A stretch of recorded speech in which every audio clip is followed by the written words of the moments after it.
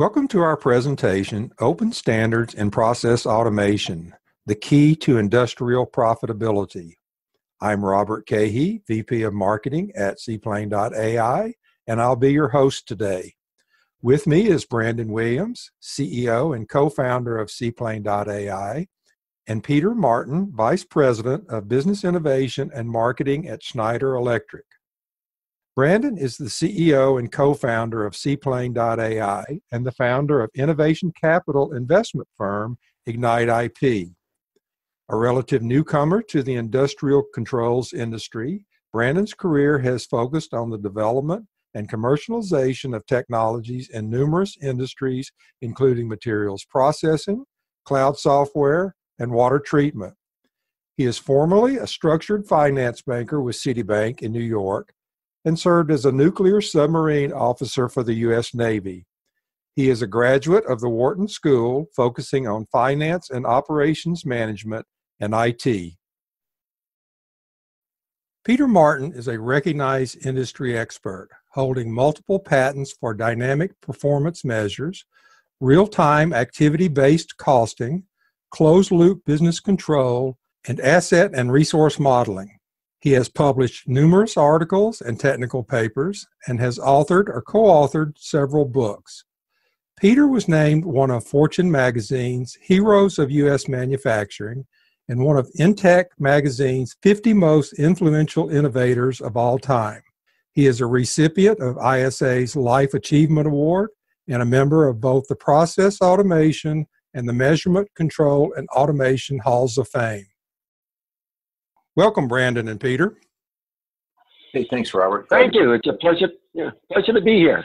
Thanks, guys. Brandon, tell our audience a little about CPLANE AI. CPLANE AI is a Silicon Valley based software company. And our software platform is really for large scale distributed cloud solutions for IoT um, in the telecom space, things like fog computing, et cetera. And what our software does is provides a degree of intelligence and automation using closed loop orchestration that just makes it a lot easier to deploy large scale IoT, industrial IoT solutions. And we find that this greatly accelerates digital transformation initiatives in our customers. What the CPLANE software platform does is really solve four fundamental challenges one is that there is multiple domains of technology that have to be traversed in these systems, and it's very, uh, very complex. Everything from distributed control nodes or Raspberry Pi type devices up into a data center. So, managing all of that IT infrastructure. Another is that you're deploying and maintaining applications in lots and lots of places. We make that much simpler across multiple domains of infrastructure a third is that there's very complex networking topologies that require fully automated networking. Things like software defined networking help automate that, and capabilities like time sensitive networking help prioritize traffic on your network. And the last, maybe the most important, is that the skill level to design and manage these complex systems can be very expensive without the right set of tools. And we have found with our customers that we can eliminate as much as 90% of the engineering costs out of creating these complex systems and for their ongoing management. And that turns out to be very compelling. As a global leader in digital transformation of energy management and automation, Schneider Electric needs no introduction. But Peter, tell us about your role there and some of the innovations we're seeing from Schneider Electric. Thank you, uh, Robert. Uh, I'm I head up uh, innovation and marketing for the process automation part of Schneider Electric. And uh, we're continually looking for how we can use automation and control to help our clients improve their operational profitability safely. So when we look at some of the innovations that have been taking place in the in the last few years, a lot have been focused on expanding beyond a, a control focus of efficiency to more of a control and automation focus on profitability. We've come up with innovative ways of measuring profitability in industrial operations in real time, empowering operators to make better decisions, uh, bringing in higher levels of control. And we believe all of these things will help our clients to turn their industrial operations into the profit engines of their business. Thanks, Peter. I think it's safe to say that if you pick up any trade journal or read any blog these days or attend any trade show or conference, the first thing that strikes you is that there is a lot of change happening with the industrial manufacturing space. Industrial automation, Industry 4.0, digital transformation, industrial IoT, process automation, edge computing, edge clouds, just to name a few, are opening new opportunities for owners and operators to take better real time control of their operations and business performance. And it's not just about technology. Markets are reshaping themselves literally overnight. Product life cycles are becoming more dynamic and shorter, and the applications that support those products have even shorter life cycles. But probably the most important change is that the lines between IT and OT are blurring. And corporate leadership is expecting more, not just from their chief information officers and their chief digital officers, but also from their manufacturing assets and operations too. The Open Process Automation Forum, or OPAF, is taking on the challenge of creating open frameworks and standards that will address many, if not all, of these challenges. Peter, give us an overview of OPAF how it was formed, what's its primary objective, who's participating, and what's your company's role there? Thanks, Robert. OPAF is an open, collaborative, standard focused body. We're made up of some of industry's most prevalent technology thought leaders and pioneers, all working together to drive the creation of open, standards based process control systems that will benefit process manufacturers across multiple segments. Our members come from everywhere across industry, including end users from multiple segments, hardware, software, and solutions providers, systems integrators, industry analysts, academia, and standards organizations. OPAF was formed a bit more than two years ago. The initiative was spearheaded by ExxonMobil, who has long called for the development of an open process control framework that would replace closed proprietary control systems that drive up costs, stifle innovation, and limit options end users have because they're locked to the systems they installed years or even decades ago. Schneider Electric shares ExxonMobil's vision and the goals of OPAF. That's why we invest our time and resources to ensuring OPAF succeeds. Several of our team actively support OPAF by participating in multiple OPAF working groups, including Trevor Cusworth, serving as the forum's co-chair with Don Bartusiak from ExxonMobil. Another of our team members, Tom Clary, serves with Brandon as co-chair, co-chair of the forum's marketing and outreach committee. Thank you, Peter. I'm sure the first question from our viewers and listeners will be Is this just another standards body? Brandon, can you share how OPAF is different? Sure. I hear that question a lot in the industry, but OPAF is not creating new standards or a new set of standards. We're collaborating to produce a standard of standards so that everything works together. And this takes into account business requirements of the entire industry ecosystem. While a number of useful and relevant standards are available, no single standard delivers the required portability and interoperability required to achieve OPAF's objective. Therefore, our first priority is to select from existing standards, defining an open and secure and interoperable process automation architecture that benefits end users and suppliers and integrators. Involving everyone is critical to our success. And the standard of standards will enable industry to develop new systems comprised of cohesive, loosely coupled severable functions, functional elements, I should say, uh, acquired from independent suppliers. It allows best of breed. These functional elements will be able to be integrated easily via structured modular architecture characterized by the by the open standard interfaces which means everyone will benefit. Only when no standard is available or acceptable will an effort be made to develop a new standard. So really leveraging on the work that's been done over a decade towards this openness goal. Thanks brandon. It seems that we've been at this a while digital transformation is not new and Industry 4.0 has been part of the conversation for several years now. There have been a few fits and starts along the journey so far, and it might seem that people are a little dubious of another industry initiative. So the key question seems to be why is this important? Why do open standards and open systems matter? I'll make this one a toss up and let either of you jump in. Let me take a stab at your question, Robert. I have a unique, I think, a unique perspective from my experience in the telecom industry that has embraced, successfully embraced open standards, and the cloud industry, which similarly is built so much on open technologies and open standards. And also my experience in finance at Citibank on funding very large transactions for industrial companies.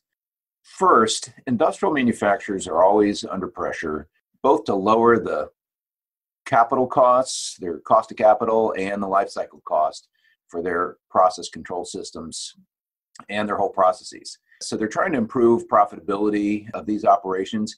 Many of the currently installed control systems are predominantly closed and proprietary. That's been the tradition for the last 50 years or more. That means integrating with other best in class third party components becomes very costly, while making them expensive to upgrade and maintain so for their full life cycle. Additionally, today's systems generally lack intrinsic built-in cybersecurity needed to protect equipment assets and, and other capital investments. Uh, that threat continues to emerge faster and develop faster than closed systems are able to keep up. So, open, interoperable, and secure by design process automation systems those architectures will address all of these issues. So this is really OPAF's goal and purpose, ensuring that future automation systems adopt and reinforce standards that achieve true heterogeneity while providing intrinsic security, multi-vendor interoperability, future-proof innovation, and an easy pathway for systems to migrate that will help end users reap a lot more value and profitability from their operations as they move forward. So, let me show you a few concepts that we've worked on in the business working group at OPAF that might help better explain the value an open standards based uh, systems might provide. Based on a lot of input from our forum members, and, and, you probably know that our forum members ranged from Dow Chemical to ExxonMobil and Shell to Merck Pharmaceutical. So, a very wide representation of industrial companies or manufacturing companies, you might think, gosh, how can all of these fit in together? I put together three models that I'm going to present here to Peter and, and get your feedback on, Peter. You know, we'll have a discussion about how well these might represent the business case for, for open processes, open standards in industrial controls. The first of it is what I call the CapEx model, looking over the investment uh, life cycle of building a plant making a huge capital investment you probably know that for example in the oil and gas industry when you build a new refinery that that's a $8 billion commitment and a very big capital investment what i'm showing on the left is the investment life cycle for a plant right you have a very large initial investment multi-year construction phase with an outlay of capital and, of course, no output from the plant. And once you get to commissioning of the plant so that it's uh, operational, you start tuning your operations to optimize that plant. Your operation costs go down into a steady state support type continual investment with your contractors and with the vendors that have helped you build this plant. And it operates at some steady state efficiency over time, typically. And then you have a shutdown period for modernization. And there's lots of reasons to do that if it's equipment refreshment or just upgrades because of new technologies, et cetera. So your efficiency goes to zero for a couple years and you invest some huge number to upgrade every system. And there, part of the reason you do that is that these tightly coupled systems can't be incrementally or adjusted by piecemeal. They have to be done at once. So you can't take one thing out because the whole system would stop or, or not function. So there's no real interoperability.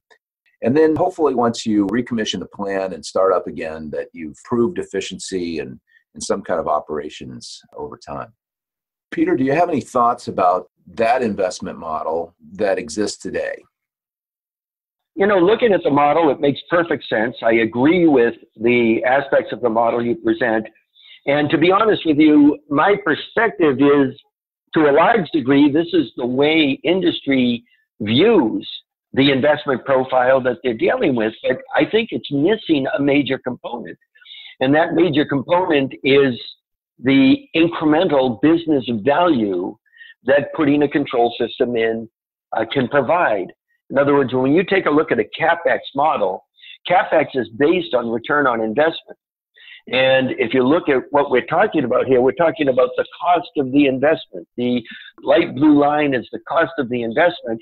The benefit is where you get the return, and the benefit needs to be larger than the cost to make this investment make any sense. And one of the problems we've had in industrial automation and controls is that the benefit from automation is not easily measurable.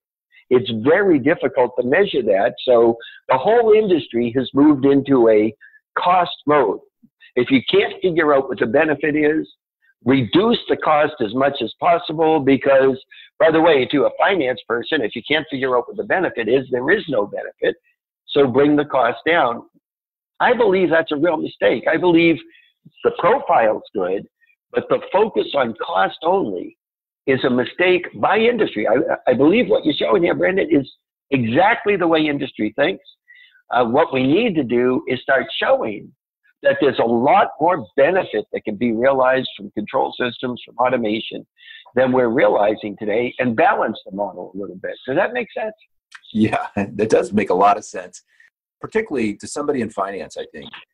That's a really good point. I'm, I'm going to present my model on the right of the investment life cycle for open systems, then turn it back to you so that you can provide some more insight here. So, the OPAF model is with open systems, you get more competition for the control system. And so it will affect your initial capital outlay, which is really perceived. And, you know, if you look in the telecom industry, the cloud industry, or any of the others that have adopted open standards, they will all tell you that they've brought down capital costs significantly by using open standards.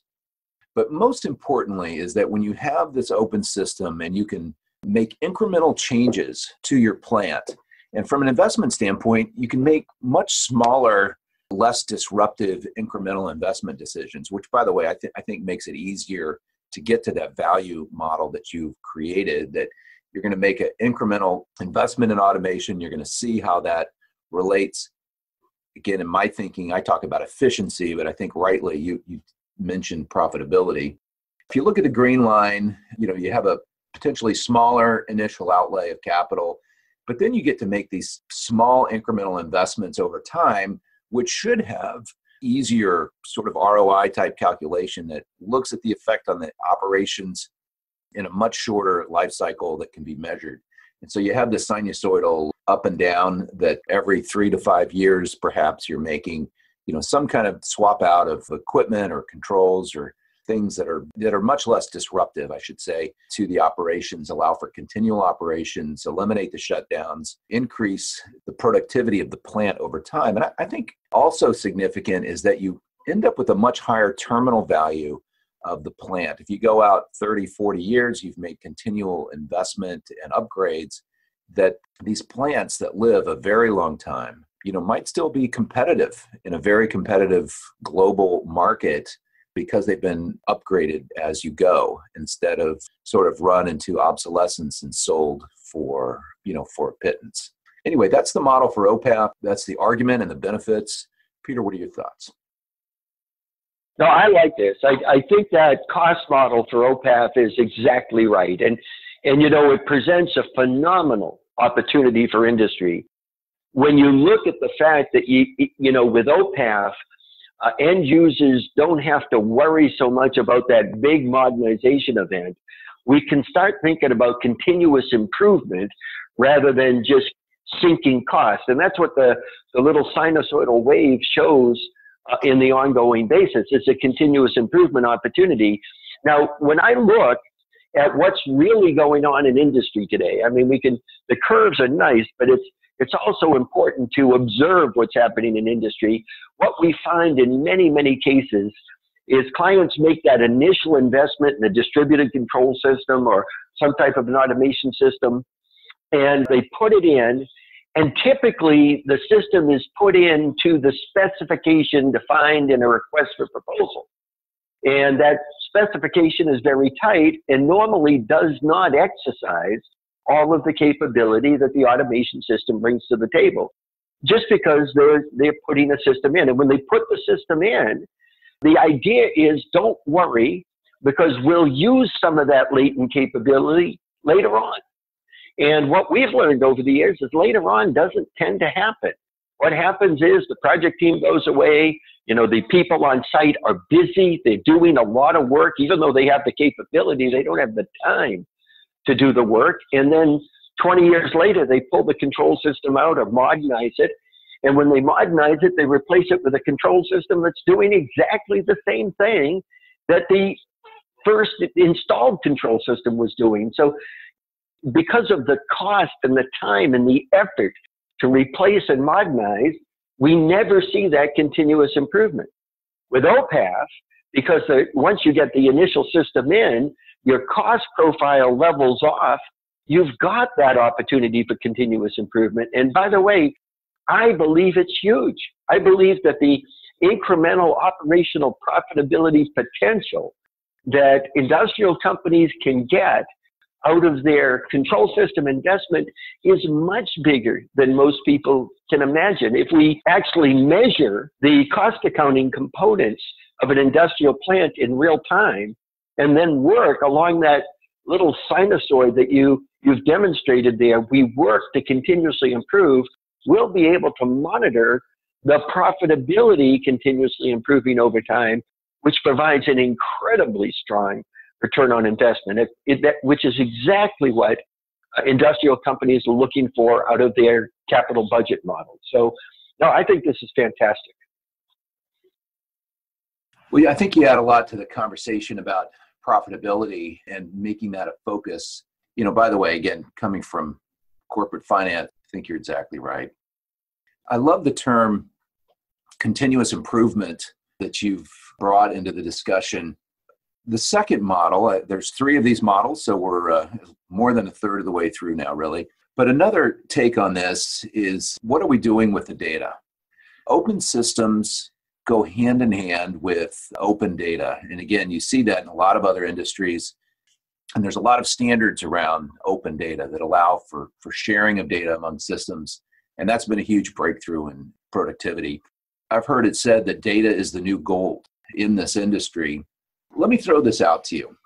Currently, companies over the last decade or more have spent an absolute fortune on collecting data Sensors of, of all kinds, tens of thousands of sensors are certainly possible in a manufacturing process today of, you know, of almost any complexity. And that data is getting generated on continuous, it's time series data in a lot of cases, and it just creates huge volumes of data and these giant data lakes that everyone has decided is, uh, is the new gold. They're going into data storage where they're being analyzed and processed huge investment again on data processing and data storage. There's billions of dollars already being spent here. And the next generation that I'm seeing, particularly in our involvement with Microsoft, Azure, and Amazon and Google, is really driving kind of next generation insight and understanding from all of this data. There's next generation tools like artificial intelligence in the cloud. There's a huge marketplace that we've seen. Even we've been approached by some startups that are promising operational improvement by providing new modeling techniques to the data. So, again, we have collection, processing, insight, and understanding.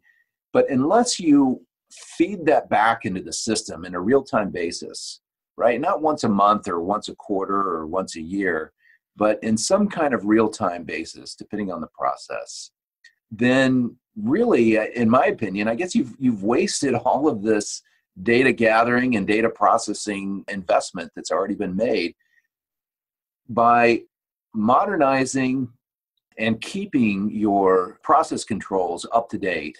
Is really the only way to make that last step of operational improvement to drive new data right? You're going to change the the environment drive new data and complete the loop again i just see this as hand in hand with peter with what you were saying about continuous improvement that the data collection and the involvement of the process control system in acting upon this data and insight is really the critical next step. And that has to be continually upgraded, sort of like we showed in the in the last slide.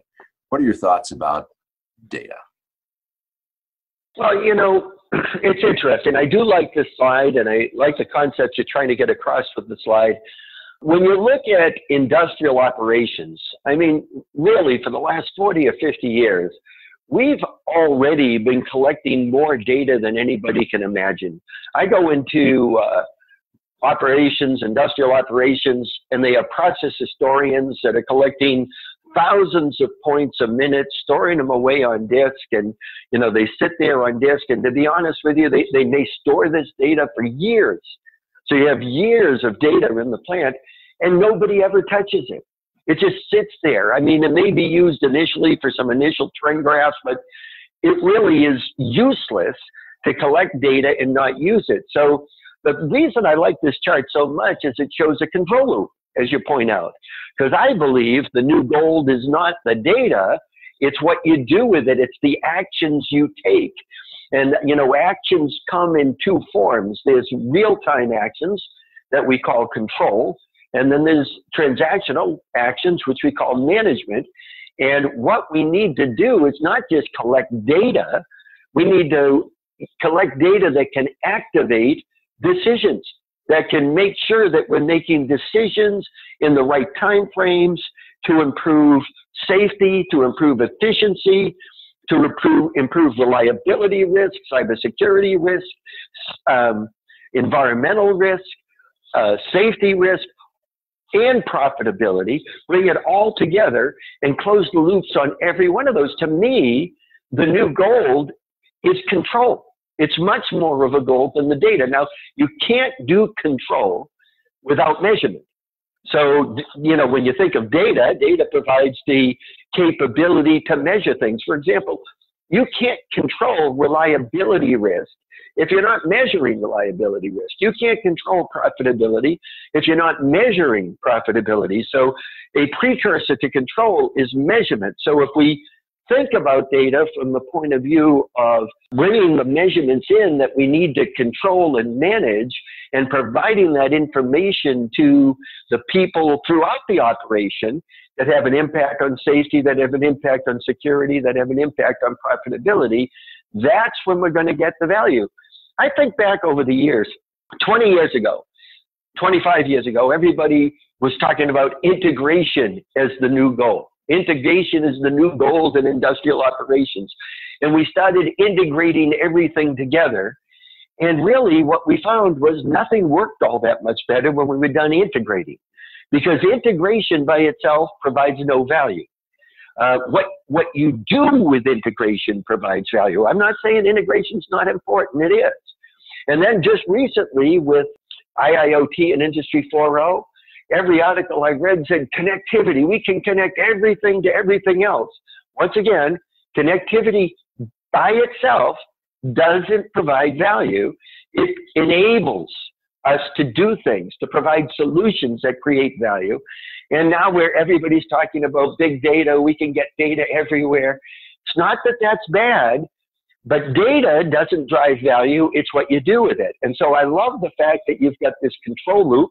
You're talking about using the data, creating some data, establishing some data that allows us to make better decisions. But the goal is in the decisions, making sure that we're making the right decisions on the right time frame and the right place so that we can impact results that drive incremental operational profitability, efficiency, reliability, safety, so on and so forth. Does that make sense?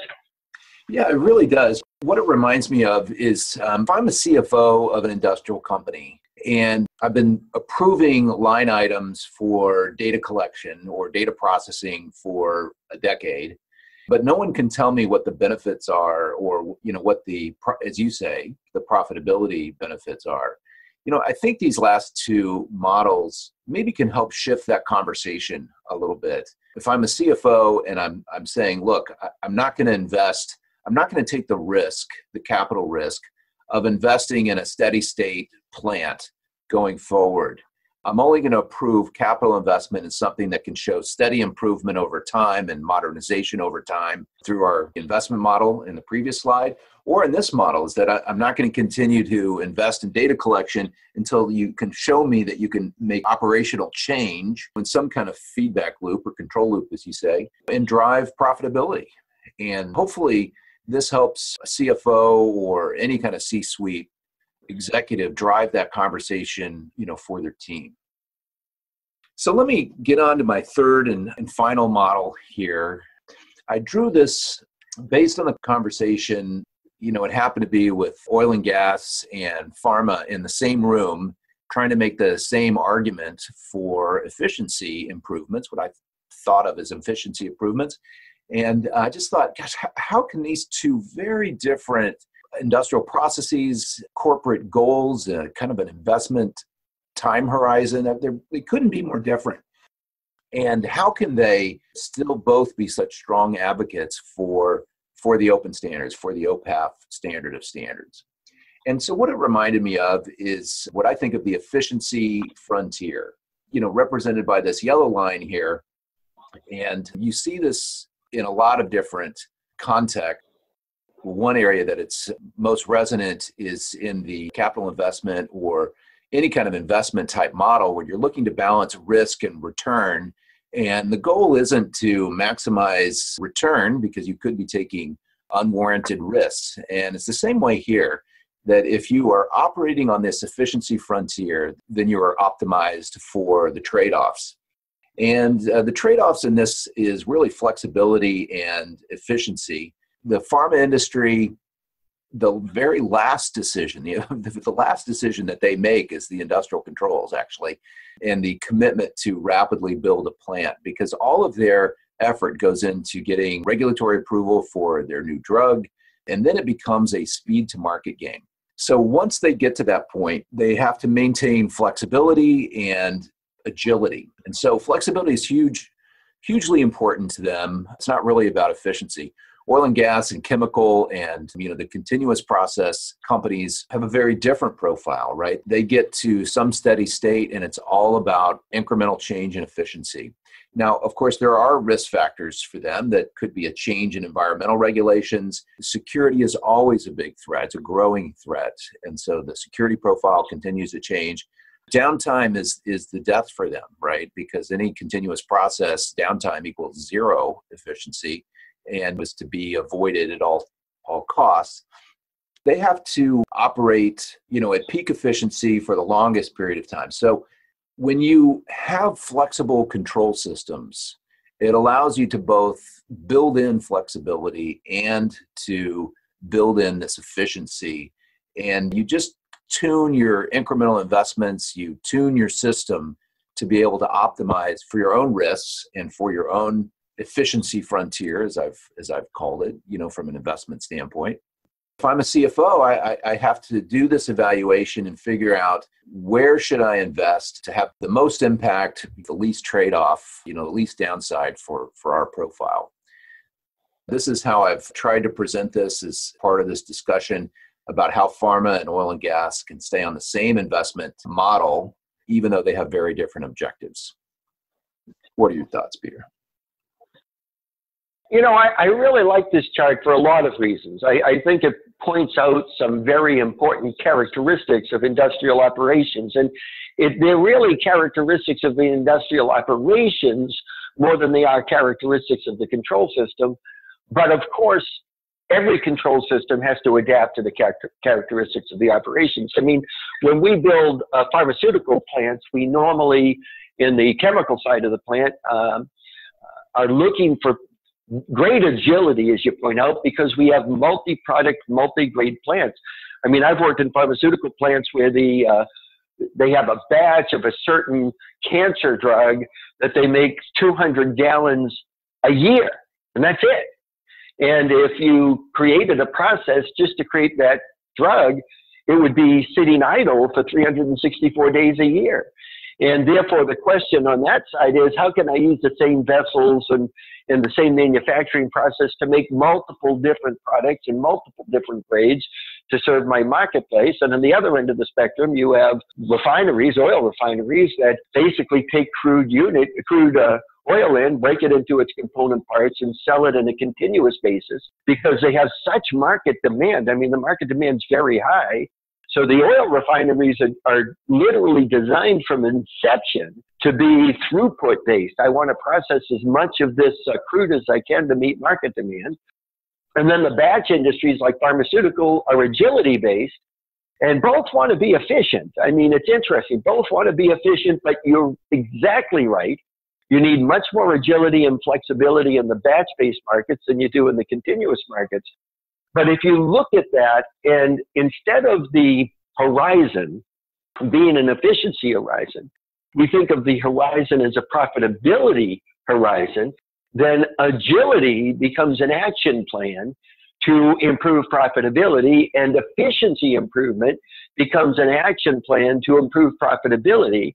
Both, all industries across the entire spectrum, even into discrete manufacturing, industries, which you haven't really covered in this chart, all industries are looking to improve profitability safely. So I believe that instead of it being an efficiency frontier, that yellow line, we ought to think of it as being a profitability frontier. Every industry wants to maximize profitability. And if you think of that as a profitability frontier, we, we have some commonality across these diverse industries that we can pull together to drive more and more value out of the operation. Uh, does that make sense, Brandon? Yeah, it sure does. And I, I, think we'll change the, the name of our golden line here to the profitability frontier. And the, and the area off to the right of that line is the profitability zone. And I think you've correctly drawn the connection for how control system plays such a critical role in determining where you are on that frontier, which of course is the whole purpose behind OPAF is to drive that. I think that adds certainly adds a lot of value to some of these frameworks that that I've uh, tried to create based on the conversation. Again, I uh, don't have decades of experience, you know, in this industry like you do. So this has been tremendously helpful. Uh, I will say that I can't comment in any specificity, but we are working closely with Schneider Electric on exactly that kind of operational flexibility. Um, you talked about automated startup and shutdown we've been invited in to uh, help think through some of those challenges with Schneider Electric, which has been a great benefit for us. And, and I think to bring our expertise has been, uh, you know, around automation and orchestration is benefiting some of the thinking at Schneider Electric. Peter, thanks so much for providing perspective and depth on some of these frameworks. I think it advances the thinking and conversation quite a bit. So I really uh, appreciate and value your input. One of the last things that I can bring up is OPAF has made tremendous progress, incredible commitment to move this forward very, very quickly. You know, the new OPAS uh, standard version 1.0 is complete. Really, the first steps are already in place to make this a reality. The way that I like to talk about it is that the, the train is leaving the station for OPAF. And so OPAF is determining this future state of process automation. Like I said, it's tremendous momentum and speed that it's moving forward. So the decisions that will influence how your control and operations for your business are already being determined and considered. If you're listening to this and your company's not involved in OPAF, your active involvement and participation is actually going to ensure that your own perspectives, your own specific industry needs are part of this next gen process system thinking. And so, if you want to get your input to be considered for your future operations, for your business needs, for your specific objectives and success, really, you really need to be involved. And the time to get involved is now. So, the industrial landscape is changing very quickly. And I think it's better to help lead that change instead of to just follow. So the train is leaving the station for OPAF. Thanks, Brandon. Those uh, those were really interesting models. And Peter, thank you very much for your industry insight relative to them. I think our listeners will have a lot to gain from your perspective on how they can be more efficient and profitable. We're running a little short on time now. So, Peter, could you tell our listeners how they can participate? And once they've joined, what's the normal flow of events and activities look like with OPAF? Uh, certainly, Robert. Thank you. Um, but first, let me reinforce what Brandon just said. This is a once in a lifetime opportunity to select or develop standards that will change the future of process automation forever. Becoming a member allows you to apply your expertise and voice your requirements, and it allows you to serve as an advocate for your industry segment. You'll be collaborating with a global network of industry thought leaders who have set aside their competitive interests to reach consensus for the good of all industry. We need the proactive participation of end users to help our business and technical working groups meet their specific objectives. There's no hard and fast rule about how many people from your organization should take an active role and how much time you should commit to the forum. In our experience, the members who contribute the most resources and take active leading roles across the forum's various working groups tend to see better, early returns on investment. For more information, you can send Brandon a note or visit the OPAF website at opengroup.org slash forum slash open dash process dash automation dash forum. That's a mouthful, but you know what it is. But really, the best way to learn more is simply to join and then contribute people and resources to, to the group. You can become immediately involved by attending or taking part in our next OPAF meeting, which will be coming up periodically throughout the year. Uh, so thank you, Robert. Thanks, Peter. So again, thank you very much, Brandon and Peter. Your your insights were tremendous. And I'd like to thank our viewers and listeners for their participation. We look forward to seeing you on our next presentation.